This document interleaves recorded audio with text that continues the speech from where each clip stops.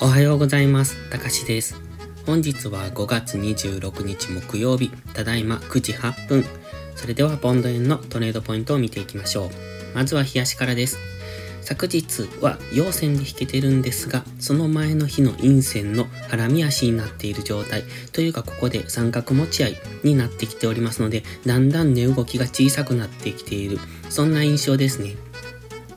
昨日同様、ストキャスティクス、 MACD は方向感がない感じですが、少し弱くなってきたなという感じは受けます。ただ、 MACD はゴールデンクロスしてきてますので、強弱がバラバラな印象ですね。現在は GMMA 付近にありますので、方向感がないのですが、今一応 GMMA が上にありますので、えそこにちょっと上値を抑えられている、そんなイメージにも見えます。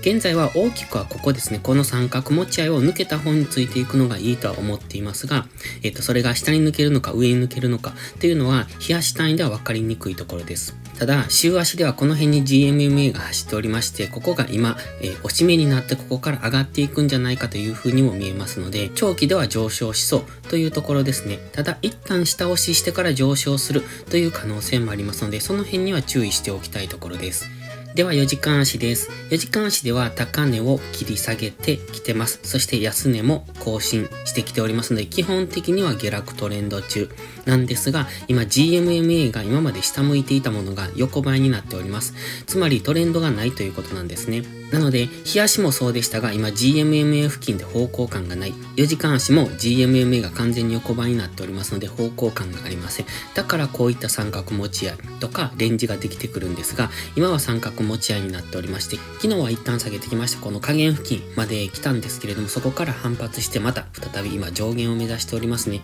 現在はこの上限付近、そしてこのオレンジのトレンドライン付近というところで、ここは一旦の抵抗になると思いますので、再び下落するんじゃないかと考えているるんですけれども、ここを抜けてくると、この三角持ち合い、上抜けからの、えっ、と、ここまでですね、オレンジの点線ぐらいまでの上昇が考えられます。また逆に下抜けた場合は、えっ、と、ここですね、この紫のラインぐらいまでを考えておりますので、上抜けた場合は164.2ぐらい、下抜けた場合は155.5ぐらいまでの下落を考えてます。ただ、三角持ち合いの場合、騙しで戻ってくることも考えられますので、もし仮にここから上抜けても、そのまま騙しでもまた戻されてくるということもあり得ますので、エントリーは上抜けて戻しを待って下げ止まったところからのエントリー。で、下落も一緒ですね。下抜けて戻しを待って上げ止まったところからのエントリーっていう風にしていかないと、えっ、と、抜けたけど、そのまままた戻されて逆向きに抜けていくっていうことも考えられますので、その辺は注意が必要ですね。現在はストキャスティクス高値圏にあります。過去のこの高値圏見ていただいてもわかりますが、ここでの下落、ここでの下落とか、ここでの下落もありますので、今高値圏にありますので、一旦の下落をしそうなんですが、今ちょっとストキャスティクス勢いがいいので、もしかしたらこのまま上抜けるかもしれないなというふうには見えますね。まあ、その場合は先ほど言いましたように、一旦戻しを待ってからのエントリーでの164.2ぐらいまで狙っていくのがいいんじゃないでしょうか。では、1時間足です。1時間足ではここ、ディセンディングトライアングルのようにも見えますね。この高値を切り下げ。で、安値は一定というところで、えっ、と、ちょっとここ、4時間足ではこの辺がヒゲになってますので、ここで三角持ち合いを描いてるんですけれども、1時間足ではちょっと違う形に見えますので、どうなのかなというところ。そして今ここですね、この辺のライン、この辺付近で反発して下落してくると、ここでディセンディングトライアングルを描く可能性はありますので、今は三角持ち合い、もしくはディセンディングトライアングルというところで、もしかするともう一度一旦下を目指すような可能性もありますので、その辺が気になるところ。ただ先ほど4時間足で言いましたように、ストキャスティクスの勢いがありましたので、もしかしたら上抜けるのかも。1時間足でも今、ストキャスティクス、えっ、と、一旦下落しそうでまた上昇しかけてますので、もしかしたらここで一旦上抜ける。上抜けた場合は、ここのボックス上限が抵抗になる場合がありますので、その辺は注意が必要ですね。なので、先ほど4時間足で言いましたように、ここの三角持ち合い、上抜けても騙しで戻ってくる可能性がありますので、この上抜けて戻してきて、そこからのロングエントリーなんですが、三角持ち合いターゲットはね、一応この一番最高値、最安値になってくるんですね。ここでこのような三角形を描いた場合、この三角形を抜けた時は、その、えーと、頂点になるところと下限になるところを一旦目指しますので、その辺を一旦の理覚ポイントとするのがいいのではないでしょうか。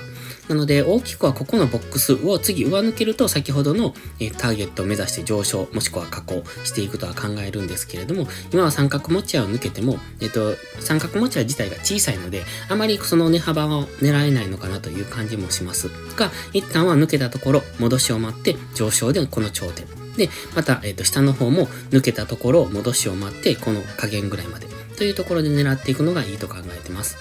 そして、冷やしを見ていただいたらわかるんですが、ここの陰線っていうのが、えー、と先週の18日ですね、そこでつけた大きな冷やしの陰線の今ここ、ハラミ足になっている状態なんですね。なので、ここを抜けるまでは方向感が明確にはつきにくいと考えますので、この白のボックスを抜けるまでは、しばらくはまだ調整が続くと思っておりますので、もうしばらくわかりにくい動きになるのかなと見ております。なので、一旦は先ほど三角持ち合いを抜けたらエントリーと言いましたけれども、えっ、ー、と、大きくはこのボックスを明確確に抜けてくることが前提かなと思っておりますので、それを明確に抜けてくると次のターゲットに向かって動いていくとは考えるんですが、もうしばらく分かりにくい動きをしそうですので、その辺を分かった上でのトレードをしていくといいんじゃないでしょうか。